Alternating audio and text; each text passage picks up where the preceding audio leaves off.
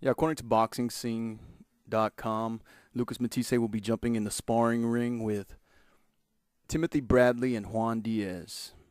Now, this is going to have a big mental impact on Lucas Matthysse because these are big name guys. Um, the only bad thing is neither of these guys is known for being hard hitters. In fact, uh, Timothy Bradley's known for being feather fisted, and uh, Juan Diaz is known for just being a volume puncher. Um, I don't know how he looks now. I haven't seen him recently. I know he's fought once or twice recently, but I haven't seen him. What kind of shape he's in? Um, but he was never known for being a hard puncher. And the thing is, uh, Danny Garcia is a hard puncher. And I know it's just sparring, and they're going to be wearing headgear, and they're not really going to be going all out on each other. But the mental impact is going to have, have Matthysse thinking he's even more of an unstoppable train. He's going to go into this fight thinking he's he's unstoppable, and it's not good for the boxers to have too much sparring. In fact, Danny Garcia is not known for sparring too much.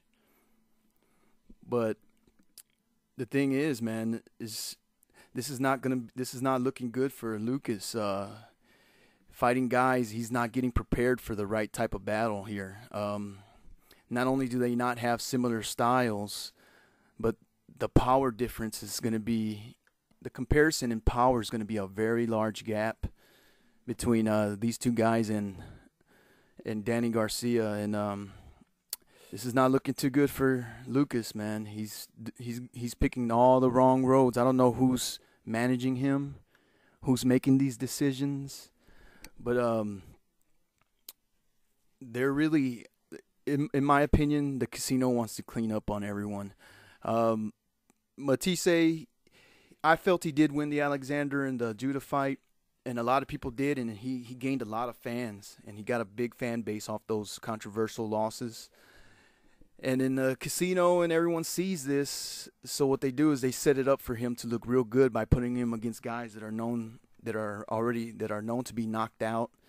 And boom he's knocking out people that's already have been knocked out people who've already been knocked down multiple times like peterson um, dallas who's been knocked out already stopped all these guys have already been stopped in order to make him look real good and they're building him up I mean, you got a lightweight Soto, an unproven Ajose, and everyone's he's already getting a fan base, and he starts knocking out these guys, and people just aren't paying attention to who he's knocking out.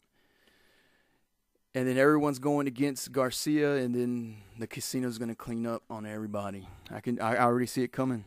Garcia's resume doesn't look much more impressive than Lucas's, but Garcia's not the one that's been built up by the media, by the fans built up by his own by his own uh, knockout stories, and he's not the one that's being um, made to. He's the one that everyone's expecting to lose. He's the one that is expected to be the underdog. He's the one that's going to come in there with the fight plan. He's not going to come in there swinging, over committing, and he's the one that's going to come out winning this.